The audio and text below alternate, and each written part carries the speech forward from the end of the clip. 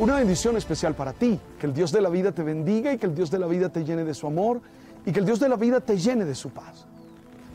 Iniciamos como todos los días un momento de reflexión, un momento de oración, un momento para llenar el corazón de la fuerza de Dios, para llenar el corazón del combustible espiritual y salir adelante y dar lo mejor de cada uno de nosotros en este día. Al fin y al cabo eso es lo que buscamos. Al fin y al cabo lo que queremos nosotros es llenarnos de amor, llenarnos de fuerza y salir a compartir eso con todos los hermanos para conquistar las metas, para conquistar los planes que tenemos en nuestra vida diaria.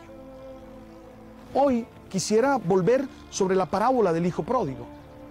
De alguna manera la hemos estado compartiendo en estos días.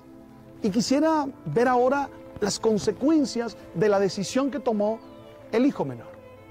Lo primero que hicimos fue mirar la ocasión. ¿Por qué Jesús dice esa parábola?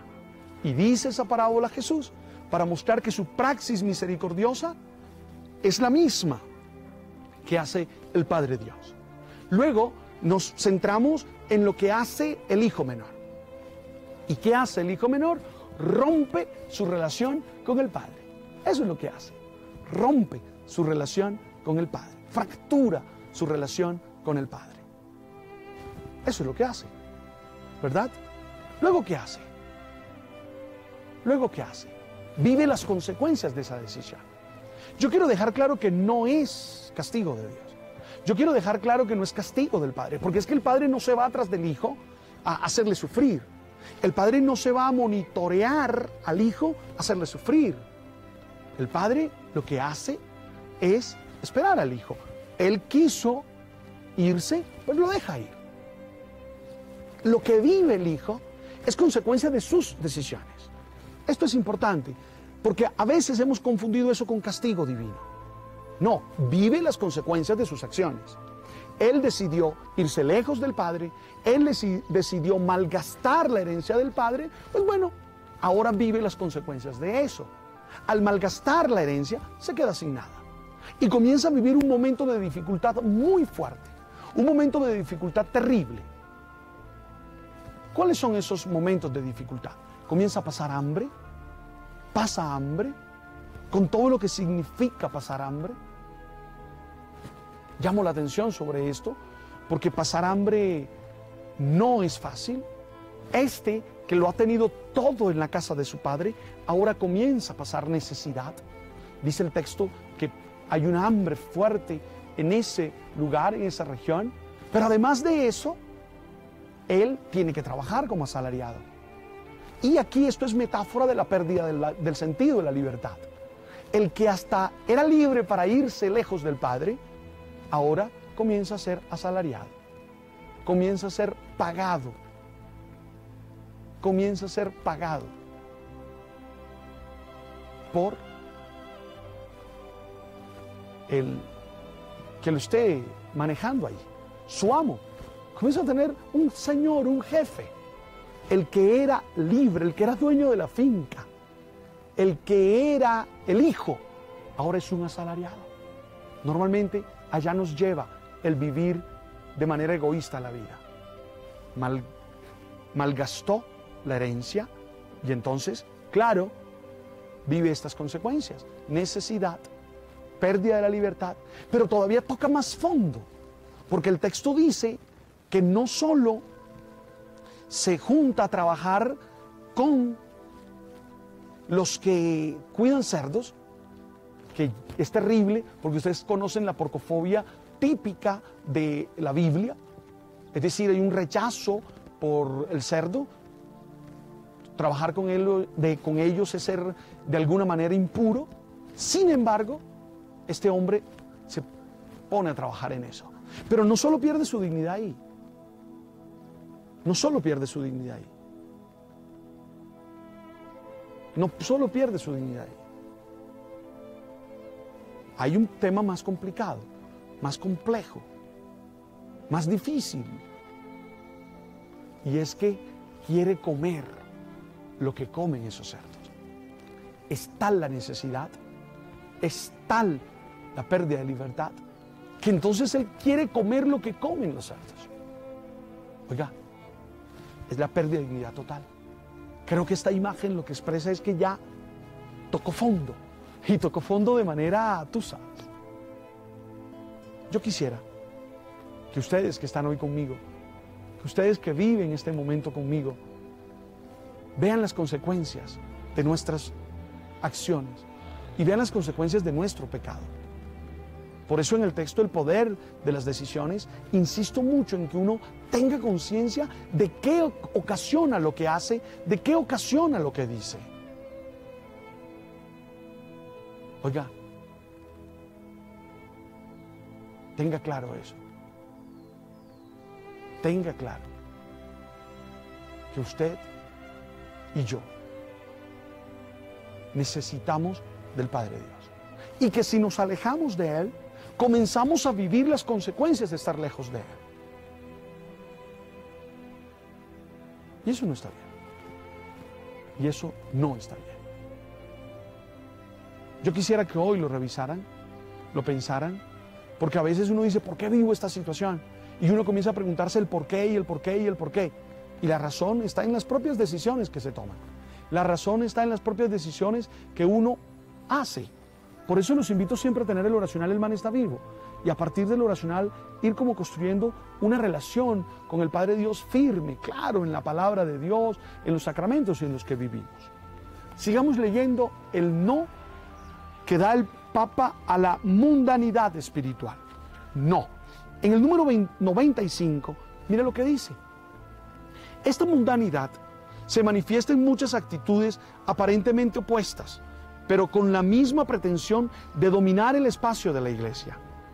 En algunos hay un cuidado ostentoso de la liturgia, de la doctrina y del prestigio de la iglesia, pero sin preocuparles el Evangelio, sin preocuparles que el Evangelio tenga una real inserción en el pueblo fiel de Dios y en las necesidades concretas de la historia.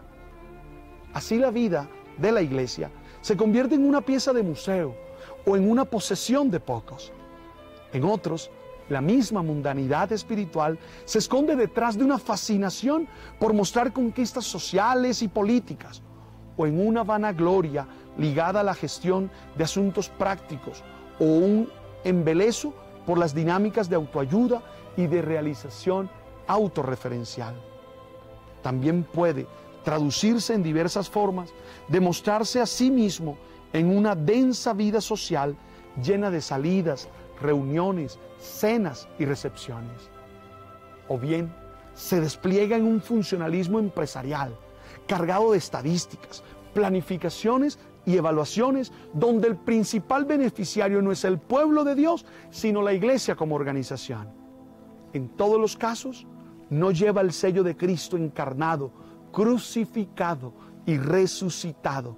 Se encierra en grupos elitistas, no sale realmente a buscar a los perdidos, ni a las inmensas multitudes sedientas de Cristo, ya no hay fervor evangélico, sino el disfrute espurio de una autocomplacencia egocéntrica.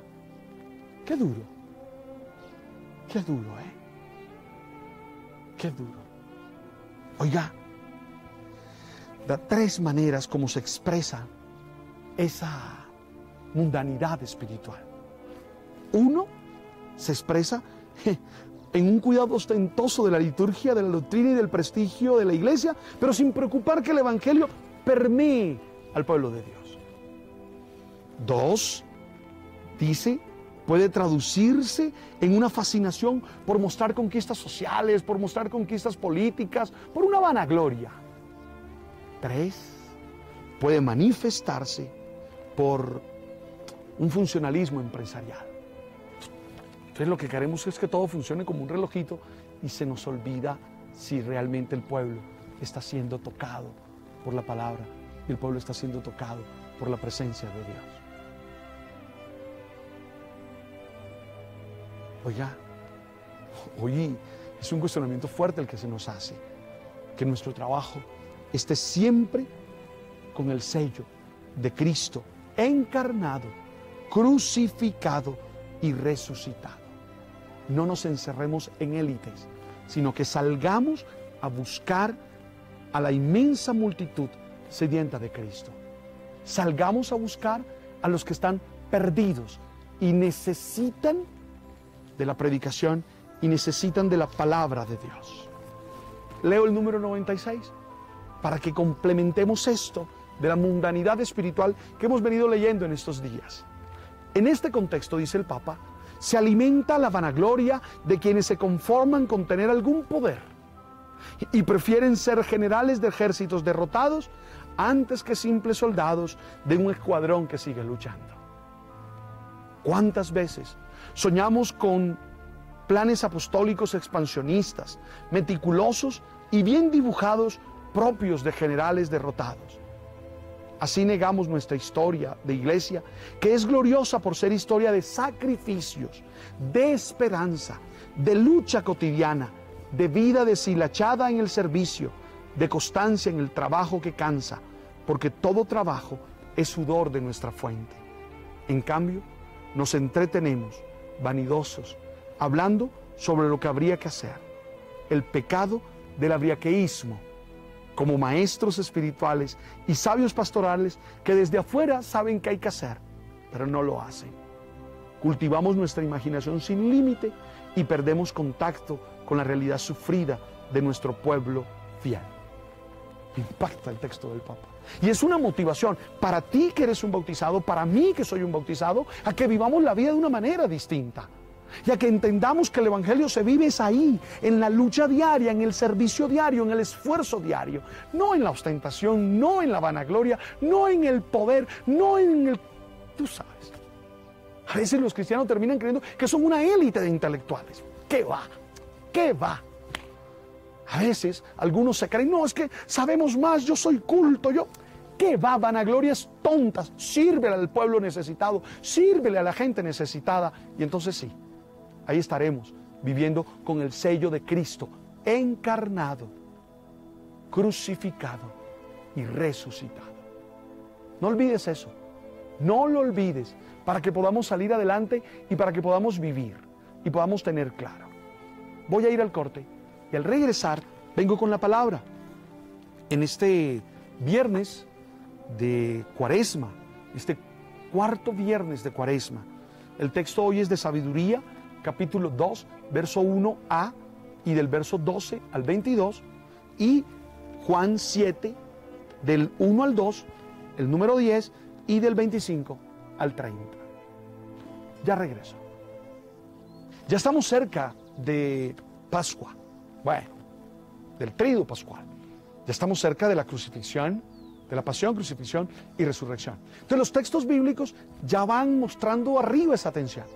Ya nos van mostrando a Jesús como el justo que es acechado por los impíos y maltratado por los impíos. Porque Jesús es el justo. Aunque haya terminado colgado en un madero, es el justo. Y el texto de la sabiduría dice lo siguiente. Se dijeron los impíos, razonando equivocadamente.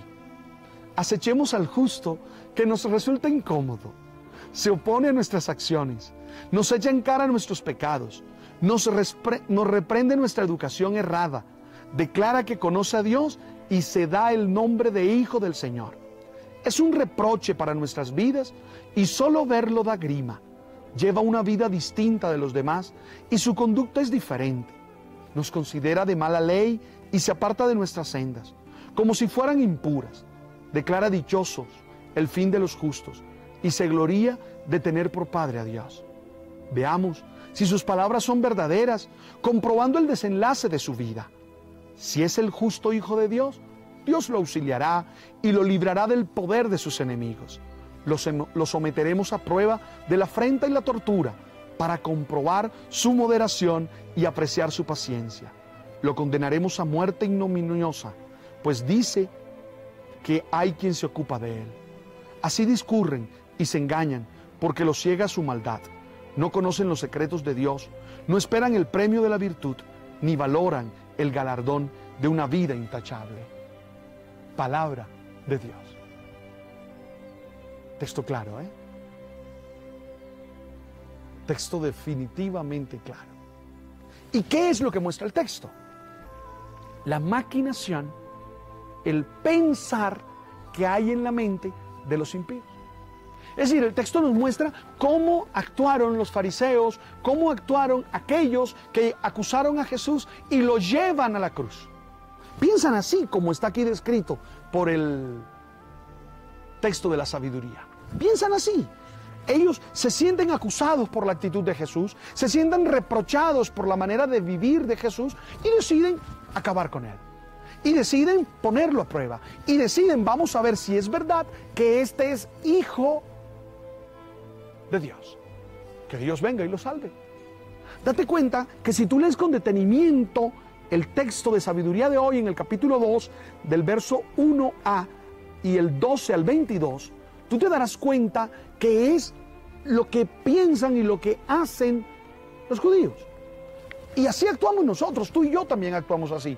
Cuando nos encontramos a alguien que de alguna manera nos comienza a reprochar con su vida, sin hablar, sin hacer discurso, sin nada, sino que con su vida misma nos reprocha, entonces, pues claro, pues claro, nosotros nos sentimos mal.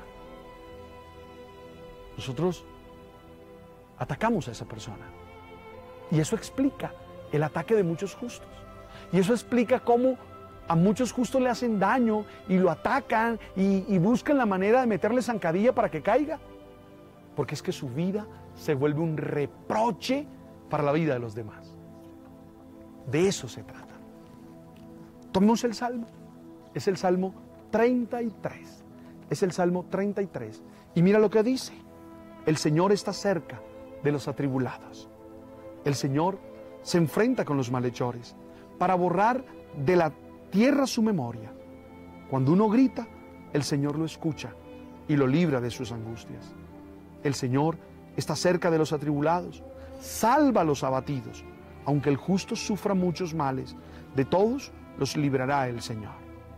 Él cuida de todos sus huesos y ni uno solo se quebrará. El Señor redime a sus siervos. No será castigado quien se acoge a Él.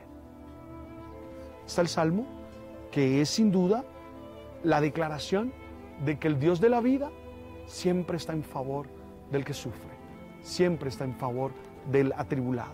Y por eso será la resurrección, ¿eh? porque es la respuesta del Padre al ataque de los impíos contra el justo. Tomemos a Juan capítulo 7, están escogidos del verso 1 al verso 2, está escogido el verso 10 y del 25 al 30.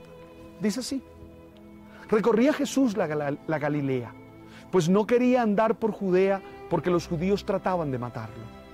Se acercaba la fiesta judía de las tiendas. Después que sus parientes se marcharon a la fiesta, entonces subió, al, subió él también, no abiertamente, sino escondidas. Entonces algunos que eran de Jerusalén dijeron, ¿No es este el que intentan matar? Pues miren que habla abiertamente y no le dicen nada. ¿Será que los jefes se han convencido de que este es el Mesías? Pero este sabemos de dónde viene, mientras que el Mesías, cuando llegue, nadie sabrá de dónde viene. Entonces Jesús, mientras enseñaba en el templo, gritó, a mí me conocen y conocen de dónde vengo. Sin embargo, yo no vengo por mi cuenta sino enviado por el que es veraz. A ustedes no lo conocen, yo lo conozco, porque procedo de él y él me ha enviado. Entonces intentaban agarrarlo, pero nadie le pudo echar mano porque todavía no había llegado su hora. Palabra del Señor. El mismo Señor Jesús, según nos acaba de mostrar el relato del Evangelio de Juan, experimentó la oposición continua de algunos impíos dudaban de su mesianismo, dudaban de lo que él decía y buscaban la manera de apresarlo para justiciarlo. Sí, daban un argumento muy simple. Nosotros sabemos de dónde viene ese. Del de el Mesías no sabremos su procedencia. Y eso se volvía un criterio para tratar de destruirlo, para tratar de ajustarlo, para tratar de ajusticiarlo. Entonces Jesús declara la verdad de su origen divino, de su procedencia, de su misión. Sus palabras a los oídos de los fariseos, a los oídos de sus adversarios, suenan como ironía, suenan como insulto, suenan como blasfemia. Al revelar Él su origen, que es que es un enviado de Dios, que es el enviado de Dios, ellos tienen todavía más razones para ajusticiarlo, para llevarlo a la cruz, para matarlo, porque consideran que se está burlando de ellos o que es definitivamente un blasfemo, que es definitivamente uno que merece la muerte. Si tú te das cuenta, Jesús aparece como el justo incómodo, cuyo testimonio da y no nadie lo puede silenciar. Quienes lo critican, rechazan, persiguen y condenan eran instituciones y personas a las cuales sus palabras, sus acciones ofendían. Pero no porque los quisiera ofender, sino porque de alguna manera su actuación mostraba lo que ellos habían hecho mal, mostraban lo que ellos no hacían bien. Oremos, oremos un momento. Bendito Dios, hazme un instrumento de tu amor. Limpia mi corazón de toda intención torcida y llénalo de la fuerza de tu espíritu. Que por donde quiera que pase y a cuantas personas se crucen en mi camino, les comunique siempre la alegría de vivir en tu presencia. Jamás permitas que dañe a mi prójimo. Antes bien, haz que los demás encuentren en mí la imagen de tu Hijo y se dejen amar por ti. Amén, amén y amén. Les invito a reconocer en Jesús al Hijo de Dios y a pedirles que sea Él el dueño de sus vidas y a pedirle que sea Él el que les llene de paz y de serenidad para seguir adelante. Hoy les invito a poner su corazón en las manos del Señor. Hoy les invito a vivir para Él. Hoy les invito a dejarse interpelar por su palabra, a dejarse interpelar por su acción y que esa sea una invitación a la conversión, no al cerrarse a la acción de Él. Ánimo, Dios está contigo, Dios te ama, Dios te bendice. Me puedes, te puedes comunicar conmigo en arroba linero. Ahí en el Twitter nos encontramos. El Señor esté con vosotros y que la bendición de Dios Todopoderoso, Padre, Hijo y Espíritu Santo, descienda sobre vosotros y os acompañe siempre. Tarea, respetar y admirar a aquellos que hacen el bien. Respetar y admirar a aquellos que hacen el bien, aunque algunas veces nos resulten incómodos. Muy bien, nos encontramos mañana como siempre. Chao.